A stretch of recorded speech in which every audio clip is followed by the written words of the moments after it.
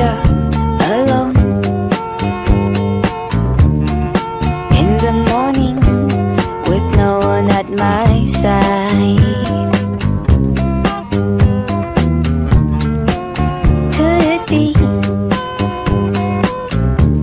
I've waited too long, waiting for the lucky one, my sweetheart?